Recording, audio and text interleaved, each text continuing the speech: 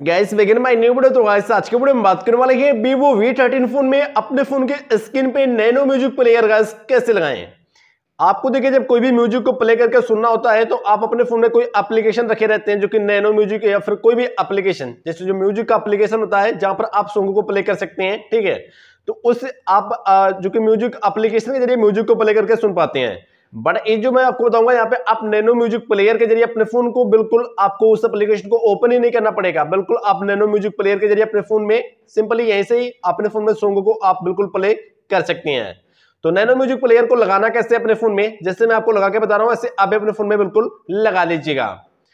Side में देखिए phone मिलेगा। आपको देखिए, करना क्या है? यहाँ पे ऊपर आप स्क्रॉल करेंगे, ठीक है?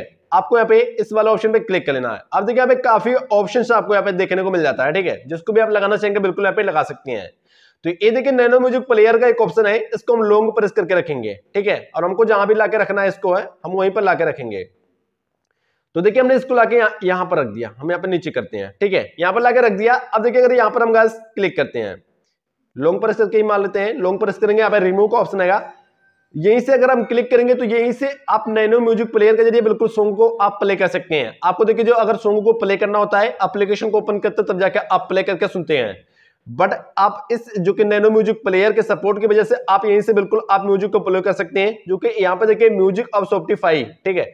दो ऑप्शन आता है सॉफ्टिफाई कर देंगे तो यहाँ पे गैस बिल्कुल आपके फ़ोन में म्यूज़िक नहीं चलेगा, यहाँ पे आपको क्लिक करके म्यूज़िक वाला ऑप्शन यहाँ पे सिलेक्ट करके रखना है। और यहीं से अपने फ़ोन में अगर सॉन्ग को प्ले करके सुनना चाहेंगे, बिल्कुल यहीं से सुन सकते हैं।